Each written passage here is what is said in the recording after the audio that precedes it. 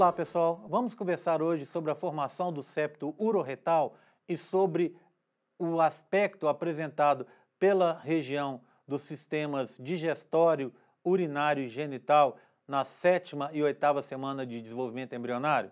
Bem, temos aqui então um modelo em que ainda há uma confluência na região posterior da, do canal que vem do alantoide, aqui indicado em laranja, e do canal que vem aqui na parte final do sistema digestório.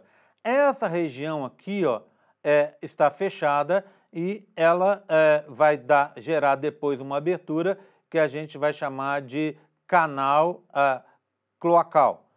Ele é, nesse momento, fechado pela chamada membrana cloacal.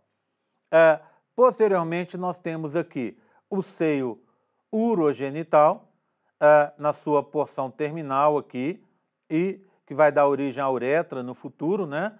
E nessa região em que ele é ampliado, nós temos, vamos ter no futuro a região da bexiga.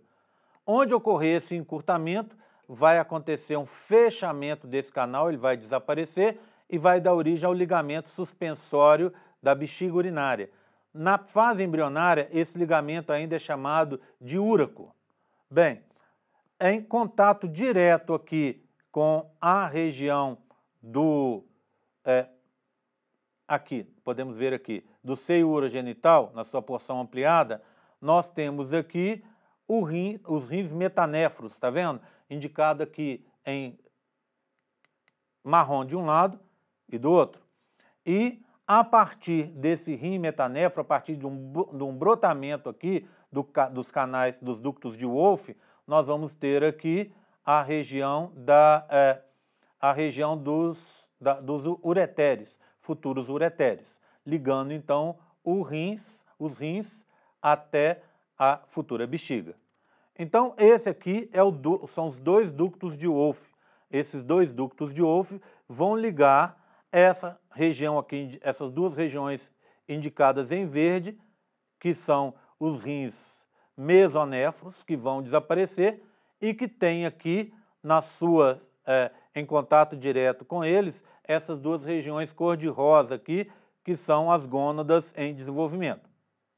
Podem ver também que os ductos de Wolff também estão entrando pra, para o interior dessa região expandida aqui é, do seio urogenital.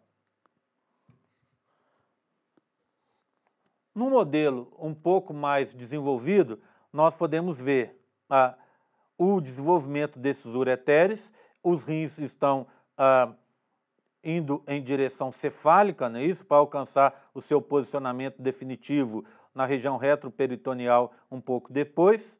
Nós temos aqui, ah, já numa disposição um pouco mais inferior, as duas gônadas em desenvolvimento, a região dos rins mesonéfros indicadas em, aqui em verde e que vão desaparecer de um lado e do outro.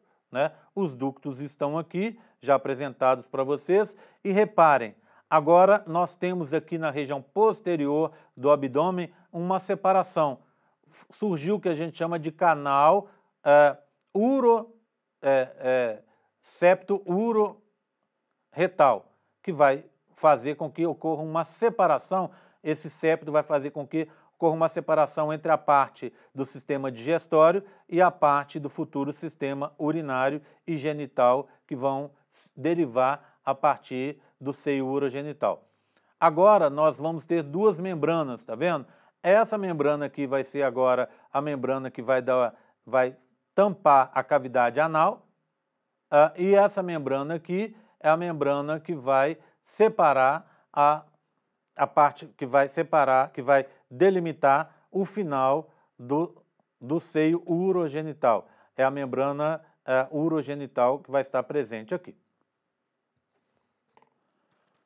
Bem, pessoal, era isso que eu gostaria de contar para vocês hoje. Até a próxima e obrigado!